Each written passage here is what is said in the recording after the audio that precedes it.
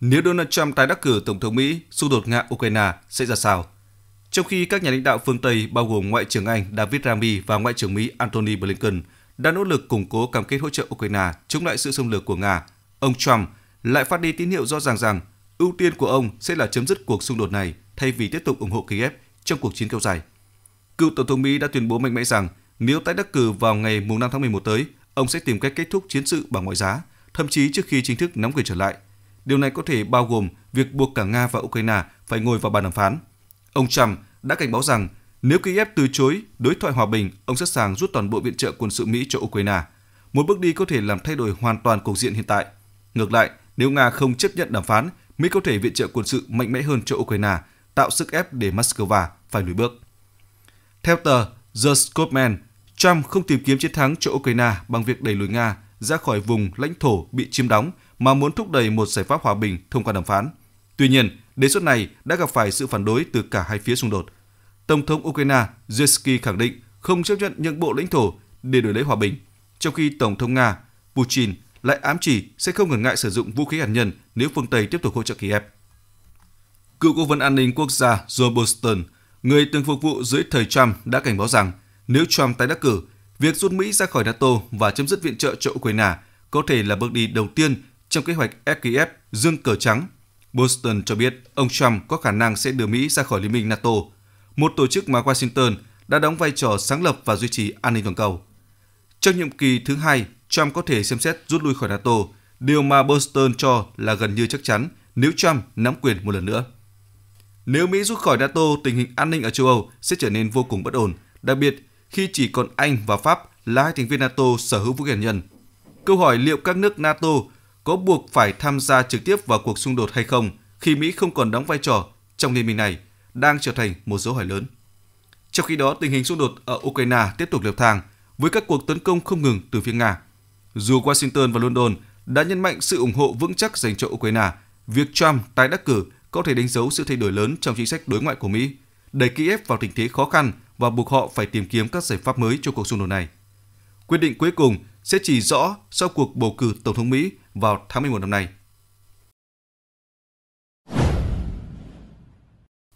Cuộc tranh luận truyền hình hé lộ điểm mạnh yếu của hai ứng cử viên Trump-Harris. Cuộc tranh luận đầy kịch tính giữa cựu Tổng thống Donald Trump và Phó Tổng thống Kamala Harris vào tối ngày 10 tháng 9 đã mang đến cái nhìn rõ ràng hơn về những thế mạnh cũng như điểm yếu của cả hai ứng viên trong cuộc đua Tổng thống Mỹ.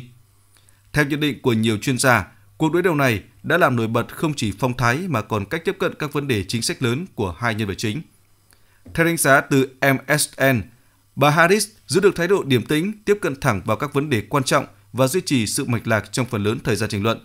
Ngược lại, ông Trump tỏ ra khá căng thẳng, đồng thời đưa ra một số tuyên bố gây tranh cãi, đặc biệt là khi các MC từ đài ABC News liên tục kiểm chứng thông tin và phản bác ông ngay trong chương trình. Điều này khiến ông Trump bị động, đồng thời tạo lợi thế thời gian cho bà Harris.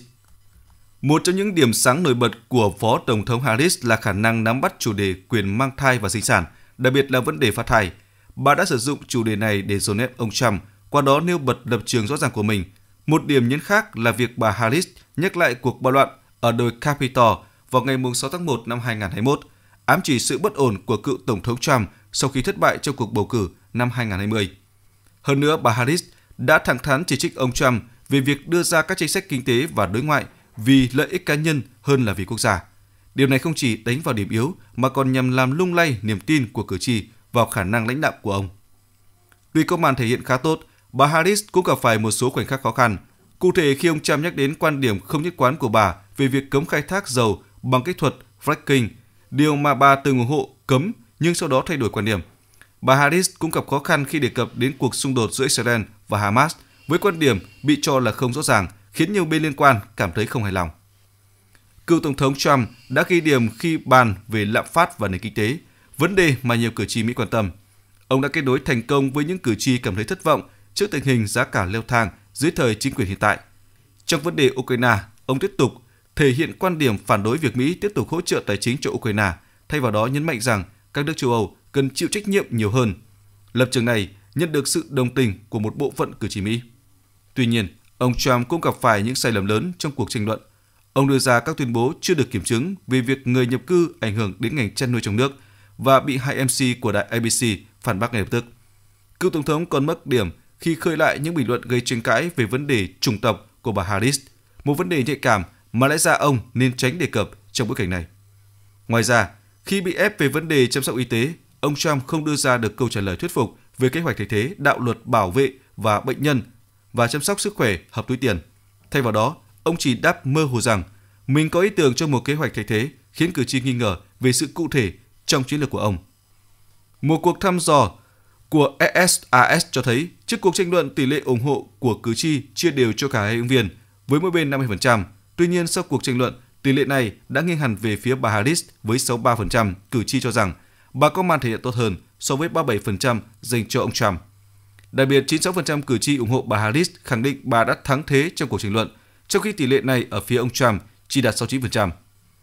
Mặc dù bà Harris có lợi thế trong cuộc tranh luận, nhưng giới phân tích bao gồm hãng tin CNN cảnh báo rằng điều này không đồng nghĩa với việc bà sẽ giành chiến thắng trong cuộc bầu cử sắp tới. Theo khảo sát, 82% cử tri cho biết cuộc tranh luận không làm thay đổi quyết định bầu cử của họ, trong khi chỉ có 4% thừa nhận đã thay đổi quan điểm sau cuộc đối đầu này. Lịch sử cho thấy vào các kỳ bầu cử năm 2004 và 2016, các ứng viên George Bush và chính ông Donald Trump dù bị đánh giá thấp trong cuộc tranh luận nhưng sau đó vẫn giành chiến thắng và trở thành tổng thống. Điều này cho thấy rằng kết quả tranh luận không phải luôn là yếu tố quyết định trong cuộc đua vào Nhà Trắng. Người dân Mỹ tạm gác lại chia rẽ chính trị để tưởng niệm các nạn nhân trong vụ khủng bố ngày 11 tháng 9. Trong một buổi lễ đầy xúc động tại khu vực Ground Zero ở New York, đây là nơi tọa lạc tòa tháp đôi của Trung tâm Thương mại Thế giới trước khi bị tấn công trong sự kiện kinh hoàng vào năm 2001. Tổng thống Joe Biden, cựu Tổng thống Donald Trump và Phó Tổng thống Kamala Harris cùng có mặt, đại diện cho sự đoàn kết của quốc gia trước một trong những thảm kịch tồi tệ nhất lịch sử của nước Mỹ. Vào sáng ngày 11 tháng 9, chỉ vài giờ sau cuộc tranh luận trực tiếp giữa hai ứng cử viên Tổng thống Donald Trump và Kamala Harris, cả hai đã cùng đứng cạnh nhau tại buổi lễ tưởng niệm. Cựu Tổng thống Trump cùng thượng nghị sĩ Vance đã có mặt tại Ground Zero vào 8 giờ sáng, trong khi Tổng thống Biden và bà Kamala Harris đến sau đó không lâu. Ba nhà lãnh đạo cùng với thị trưởng New York Michael Bloomberg đã dành thời gian tưởng nhớ những người đã thiệt mạng. Buổi lễ được bắt đầu bằng tiếng chuông và một phút mặc niệm trang nghiêm. Từ năm 2012, Đài tưởng niệm và Bảo tàng Quốc gia ngày 11 tháng 9 đã quyết định để người thân của các nạn nhân đảm nhận phần đọc tên của họ, trong khi chính các chính trị gia đóng vai trò quan sát. Sự kiện này nhắc nhở người dân Mỹ rằng dù khác biệt về quan điểm chính trị, điều quan trọng nhất là đoàn kết và tưởng nhớ những người đã hy sinh. Bà Kathy Nathan, một người mất anh họ trong thảm kịch, chia sẻ, đã 23 năm trôi qua, chúng tôi muốn mọi người nhớ đến tên họ và không bao giờ quên, vượt qua nỗi đau vẫn không dễ dàng gì. Thảm kịch ngày 11 tháng 9 đã thay đổi mãi mãi nước Mỹ, không chỉ về chính sách đối ngoại và còn về cách tiếp cận với an ninh nội địa. Hơn 2.977 người đã thiệt mạng trong cuộc tấn công khủng bố lớn nhất trên đất Mỹ, gây ra sự thay đổi sâu rộng trong chính sách quốc phòng và dẫn đến hàng loạt cuộc chiến tranh, bao gồm cuộc chiến chống khủng bố tại Afghanistan và Iraq. Sự kiện này cũng định hình tư duy của nhiều người dân Mỹ về mối đe dọa từ những kẻ cực đoan ở nước ngoài. Trong bối cảnh lễ tưởng niệm này, Tổng thống Biden và Phó Tổng thống Harris đã có mặt tại Pennsylvania và Lầu Năm Góc để tham dự các buổi lễ tưởng niệm khác. Trong khi ông Trump cũng có mặt tại đài tưởng niệm chuyến bay 93, nơi ghi nhận một trong những hành động anh hùng khi các hành khách trên máy bay đã chiến đấu để giành lại quyền kiểm soát từ những kẻ không tặc. Di sản của ngày 11 tháng 9 tiếp tục phát triển khi Quốc hội Mỹ đã chính thức đặt ngày này là ngày yêu nước và ngày phục vụ tưởng niệm quốc gia. Nhiều cộng đồng trên khắp nước Mỹ kỷ niệm sự kiện này bằng các hoạt động như diễu hành, đặt vòng hoa, treo cờ và tham gia vào các dự án tình nguyện nhằm thể hiện tinh thần đoàn kết. Trong các lễ tưởng niệm không chỉ là cơ hội để nhớ đến những người đã ra đi mà còn là lời nhắc nhở về sự đoàn kết quốc gia. Năm 2008, hai thượng nghị sĩ và đối thủ trong chiến dịch tranh cử tổng thống là John McCain và Barack Obama cũng đã gác lại mọi khác biệt để cùng tham gia lễ tưởng niệm tại Colorado. Tương tự, những gia đình nạn nhân năm nay cũng đã kêu gọi nước Mỹ vượt qua chia rẽ, đặt sự an toàn và an ninh quốc gia lên hàng đầu, với hy vọng những sự kiện khủng khiếp như ngày 11 tháng 9 sẽ không bao giờ tái diễn.